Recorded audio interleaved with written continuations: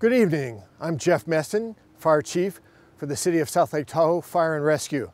This evening we're honoring Al Martinez for his spectacular work with public education.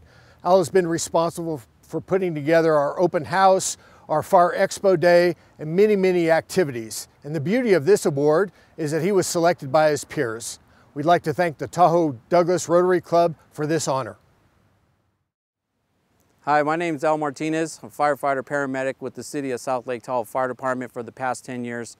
And I'd like to give a really grateful thank you to the Tahoe Douglas Rotary for the nomination, as well as Fire Chief Jeff Meston for my nomination for the award given to me tonight.